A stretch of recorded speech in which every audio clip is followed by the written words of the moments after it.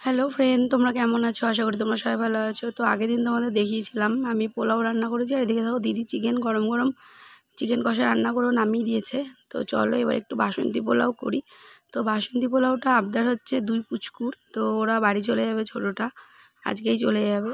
তো এর জন্য আগের দিন কি বিরিয়ানি খাও মম, বিরিয়ানি করবি? বিরিয়ানি? তো বিরিয়ানি তো সেভাবে করা হয়নি বা মন মেজাজটা ঠিক নেই বলে ঠিক আছে, তাহলে চট জলদি পোলাও হবে। তাহলে একটু মিঠা পোলাও বানাই ওদের জন্য। ওরা তো শুধু শুধু খায় পুচকুগুলো।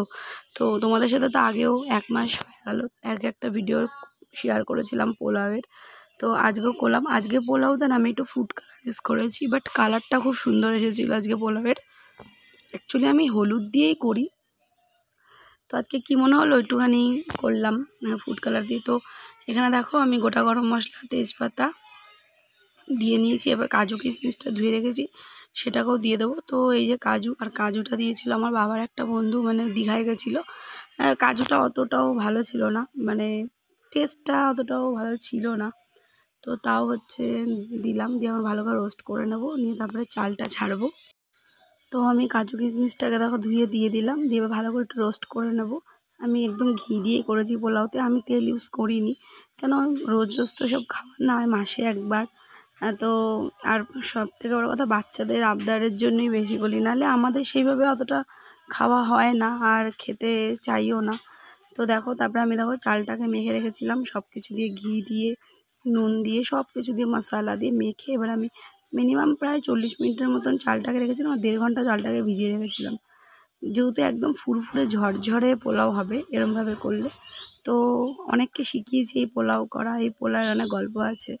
এখন তো আমি গ্যাসে রান্না করি। যখন ছোট ছিলাম, তখন কাঠের উনুনে, তারপরে তোমার আজের উনুনে আমি পোলাও রান্না করেছিলাম। তো সবাইকে খাওয়াতাম, খাওয়াতে খুব ভালোবাসি তো। তখন সবাই বলতো যে, কি করে করেছিস? কি করে করলি? স্বাগতা কি করে পারলি?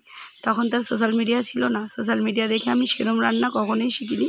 আমি অনেক রান্নাই জানতাম ছোটোর থেকে। তো বিশেষ করে পোলাও, বিরিয়ানি ফ্রায়েড রাইস কিছু কিছু রান্না আমি ইউটিউবে দেখি, আমার ভালো লাগে। মিথ্যা কথা বলব না। আবার কিছু কিছু রান্না তো সব আমার সাথে মিল হয়। আমি যেমন রান্না করি তেমন দেখি ইউটিউবেও অনেকে রান্না করে সেইভাবে। চিকেন, মাটন এগুলো তো অনেক রেসিপি ঠিকঠাক হয় না। তো দেখো ভালো করে পোলাওয়ের চালটাকে ভেজে নিতে হবে গিয়েতে প্রায় আমি দু থেকে তিন মিনিট মতন চালটাকে রোস্ট করলাম। রোস্ট করার পরে তারপরে পরিমাণ মতো জলটা দিতে হবে। কেন? জলের পরিমাণটাই মাস্ট জলের পরিমাণটা ঠিক হলেই তাহলে তোমার পোলাওটা পারফেক্ট হবে। তো দেখো পরিমাণ মতন আমি জল দিয়ে দিলাম।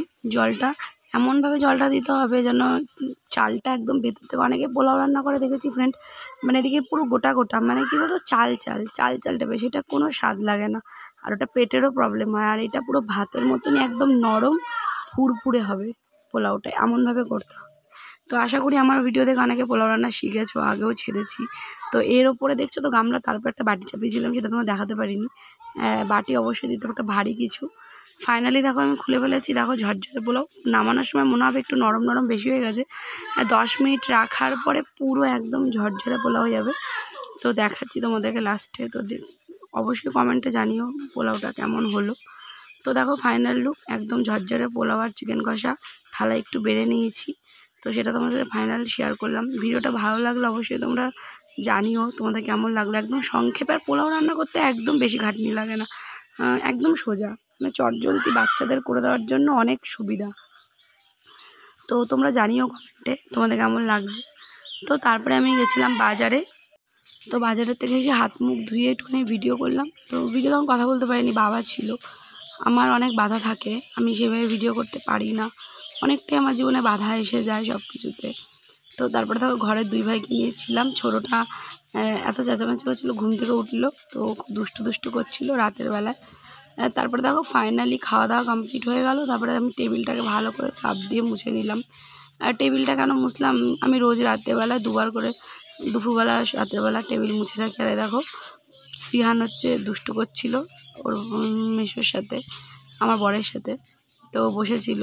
তো জানি না ভিডিওটা তোমাদের কেমন লাগছে বা সেভাবে ভিডিওটা হয়তো ঠিকঠাকভাবে করতে পারছি না। তো চেষ্টা করব কেন শরীরটা সবে একটু ঠিক হলো তো, চার পাঁচ দিন খুব খারাপ হয়ে গেছিল। তো দেখতে পাচ্ছ তারপরে ভালো করে একটু পরিষ্কার করে মুছে নিলাম। সব কিছুর মধ্যে যা করি সব কিছুর মধ্যে একটা কষ্ট কাজ করে বুকের ভেতরে। তো সেটা তোমাদের সাথে শেয়ারও করি, তোমাদেরকে সব কিছু বলি মানে সবটাই তোমাদের সাথে শেয়ার করি। তারপরে ভালো করে টেবিলটা মুছে টুছে নেওয়ার পরে মানে এখন রাত্রির প্রায় সাড়ে বারোটা, পৌনে একটা বাজে তো সারাদিন কাজকর্ম টুকটা কমপ্লিট করে শ্বশুরবাড়ি চলে গেছি রাত্রির বাজে। লাইভও আসলাম। তো ভিডিওটা কমপ্লিট করে দিলাম। আর ভিডিওটা কেমন লেগেছে তোমরা অবশ্যই জানিও। সবাই ভালো থেকো, সুস্থ থেকো, এইগুলি ভিডিওটা কমপ্লিট করলাম। তো নেক্সট ভিডিওতে ফিরছি তাড়াতাড়ি। তোমার টাটা।